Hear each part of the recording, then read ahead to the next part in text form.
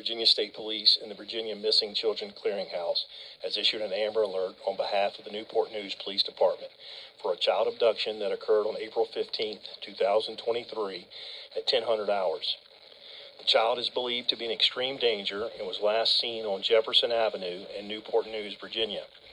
Abducted is Brielle Alexis Marie Silver, biracial female, nine years old, brown hair in a ponytail, brown eyes, four foot seven inches tall, weighing 100 pounds. She was last seen wearing a black tank top, white shorts, and no shoes. She may be wearing silver dolphin earrings.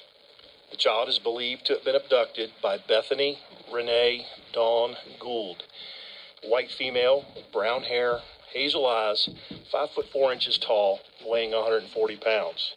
There is no clothing description at this time. They may be traveling in a gray 2005 Mercury Mariner with Alabama registration 32BM568.